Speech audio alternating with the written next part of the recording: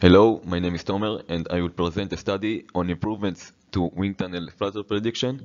This is part of my research toward the master degree in aerospace engineering and the presentation shows the method application to the A3TB wind tunnel model.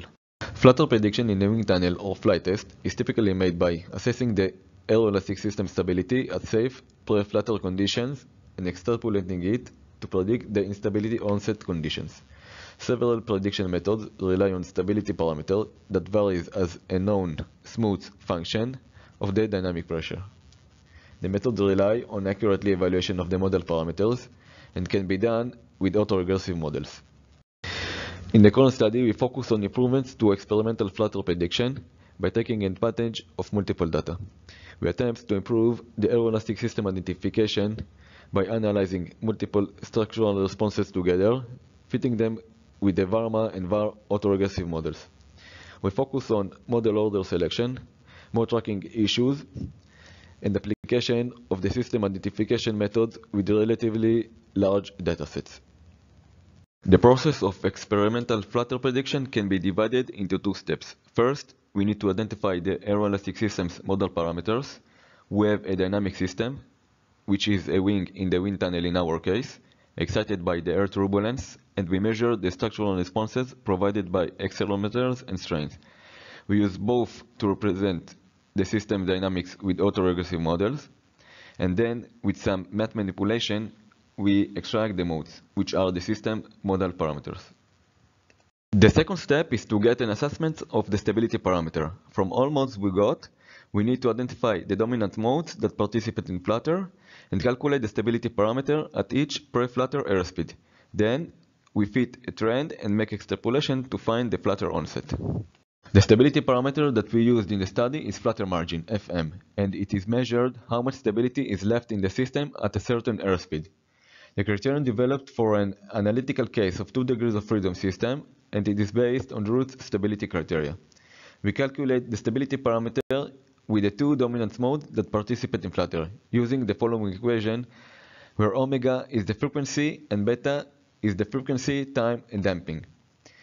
In experimental cases, it's hard to get an accurate assessment of the model damping, and as the model damping are small values relative to the frequencies, the terms that are multiplied by zeta squared can be neglected.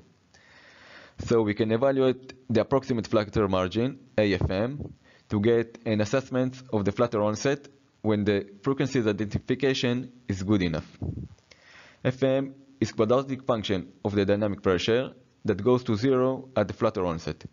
Based on the calculated FM values at pre-flutter conditions, the FM parameter can be fitted with the quadratic curve, which is extrapolated to FM equals zero to yield the estimated flutter onset. In the study, we used two autoregressive models to represent the aeroelastic system. First, the system can be modeled as a discrete Varma model in which the structural responses Y are driven by their past values and by the input of air turbulence excitation in the wind tunnel U. Our goal is to estimate the AK matrices, which yields the system dynamics. The second approach used the correlation functions, CF, which has the form of a free decay within the VAR model. The CF matrix R is computed at the covariance of the measured responses and it is an important model analysis technique to identify the structural model parameters when the excitation is unknown. And as noted in the previous slide, our goal is to estimate the AK matrices to extract the modes of the aeroelastic system. To make a long story short, the main idea of the identification process includes defining a vector of unknown matrices and solve the problem using a least square estimator. Then, we can take the AK matrices and form the companion matrix, which represent the dynamic of the aeroelastic system. The last step is to solve the eigenvalues problem for the companion matrix and get the poles. With simple math, we can explicitly get the frequency and the damping of each mode. From all modes, we need only the two modes that participate in flutter to evaluate the stability parameter. The method we use to define the model's order is a Akaike Information Criterion, AIC. The AIC determines the best model order using maximum likelihood estimator for the pair P and Q. Note that for the VAR model, Q is set to 0. For each combination of AR and MA orders, the AIC is computed with the following equation, and the best model order is the one with the smallest value. The AIC were calculated for each response separately and average over all tested airspeeds. And in cases the AIC converge at higher orders, which could pose an overfitting problem, we proposed an additional criterion based on model parameter convergence.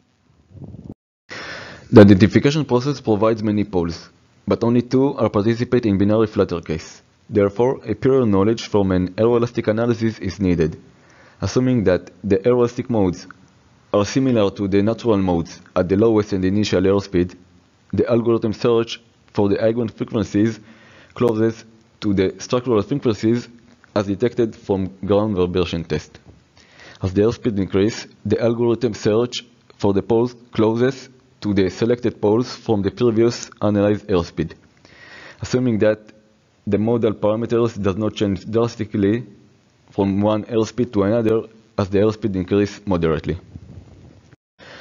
The last things that help us to track the critical modes is by finding the model participation of each mode. We use the method with the correlation functions, and the main idea is to use a least square estimator to extract the model participation of each mode.